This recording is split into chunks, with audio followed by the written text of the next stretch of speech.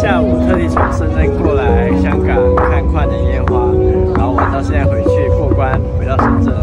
为什么要回去？因为这里订不到房到酒店呐然后人太多了。跨年烟花好看吗好看但是位置太偏了因为走不到前面多少排队排了多长时间？从九点开始排排到九排到十点多。